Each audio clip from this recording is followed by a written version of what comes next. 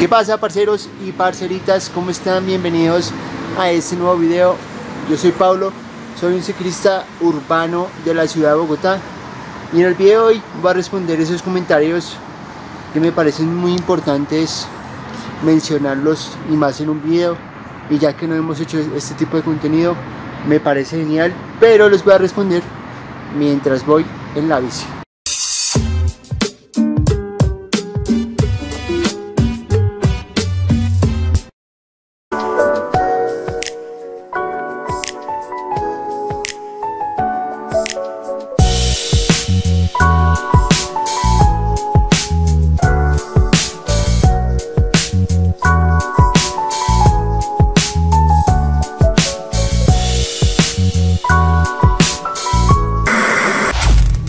Vale parceros, el siguiente comentario es del video de las estafas. Si quieren que haga una segunda parte, dejen su like. Hay muy buenas estafas que me he encontrado.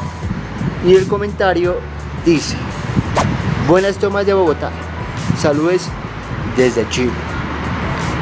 Siempre quise eso, que mi contenido estuviera en otro país. Y para un creador de contenido que lo que lo saluden o lo vean de otros países es muy chimba. Gracias a todos los que están fuera de, de Colombia o que son de otros países y me ven. En verdad, se los agradezco mucho.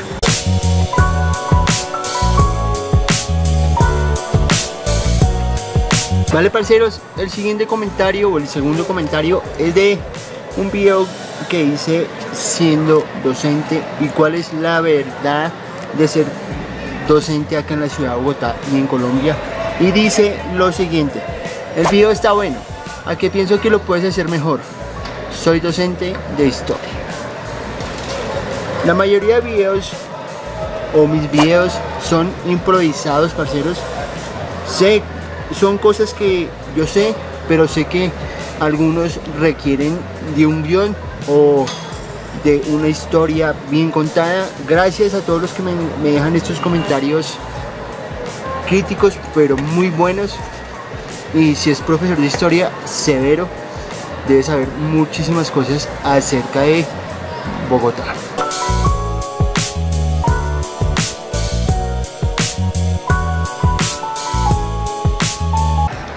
Parceros, si les está gustando el contenido que ve, porfa, suscríbase active la campanita, eso me ayuda un chorro, porfa.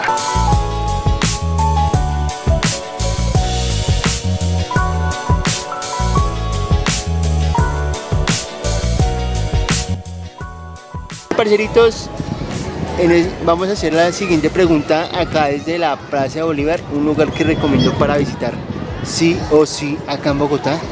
Como saben, yo voy a hacer una rodada entre enero y febrero y la idea, parceros, es que todo salga perfecto.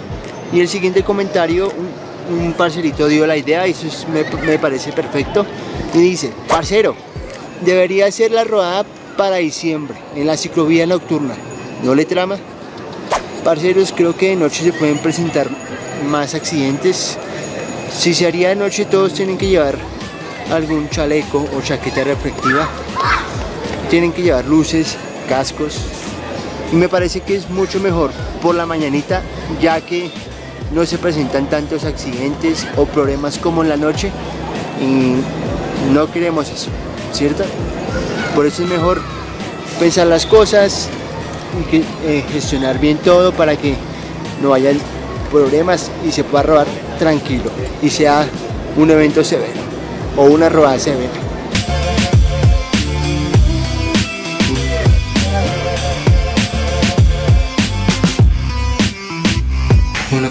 Acabamos de llegar a la casa después de ese recorrido tan grande hasta el centro de la ciudad.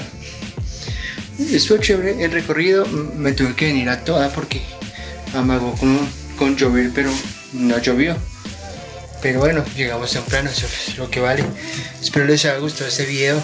Ya saben, en la parte de abajo se pueden suscribir, activar la campanita, eso me ayuda un chorro, parceros. Nos vemos en la próxima, en la próxima y recuerden que un día hace sonreír es un día perdido, parceros. Estoy